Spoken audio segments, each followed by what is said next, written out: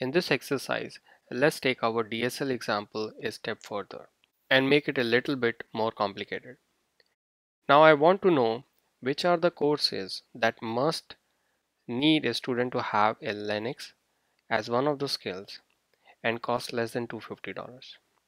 Or give me a list of courses that may require Java as a skill but they are starting in year 2017.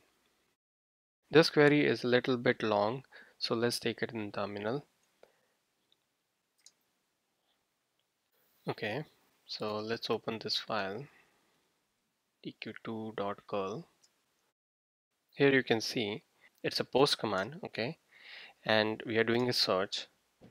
And this query is also bool type query, okay. And within that we have two conditions now. One is must and the other is should, okay. So must is like and case, okay.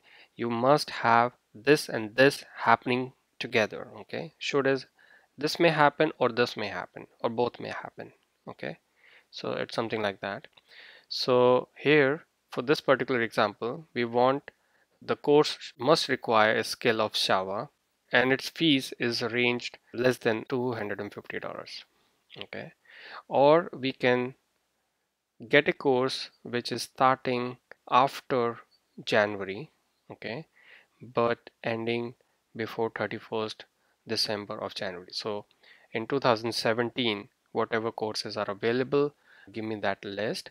But in those courses, I'm only interested in the ones which may require Java as the skill. Okay. Let's run this and see what happens.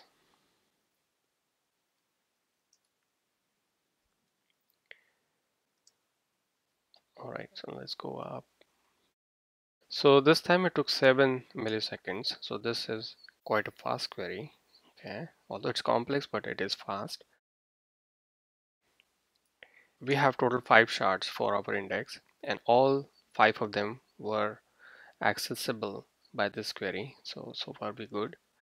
It hit 3 documents. Alright, that's good and the maximum score is 1.4 so it's very confident the first record is matching our expectations. All right. So let's see what is the first record.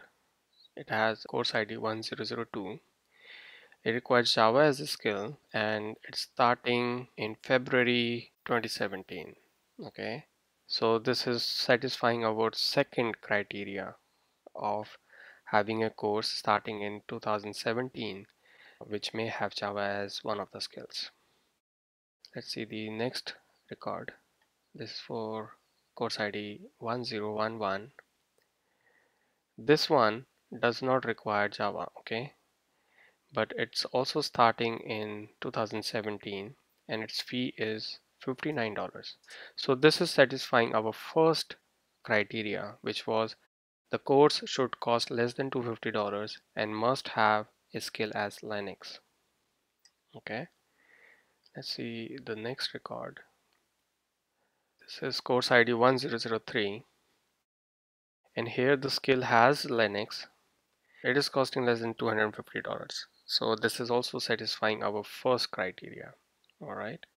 I encourage you to try out more queries, play with these uh, values within the query and see what kind of results you get okay?